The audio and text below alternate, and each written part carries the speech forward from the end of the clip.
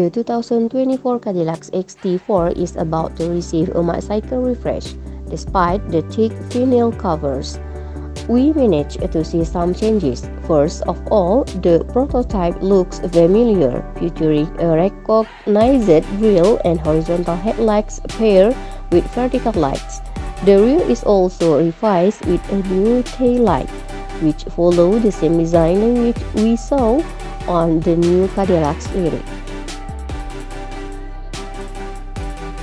Interior The new 2024 Cadillac XT4 now offers more quality materials.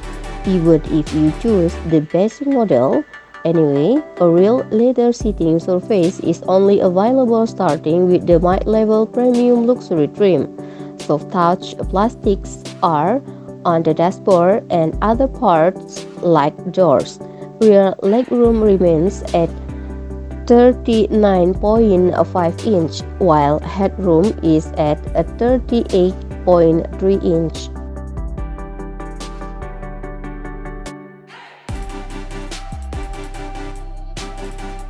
Engine under the hood, the forthcoming 2024 Cadillac XT4 will be powered by the same engine as its predecessor. This means we can expect the same turbocharged 2.0-liter four-cylinder engine that is linked to a 9-speed automatic transmission.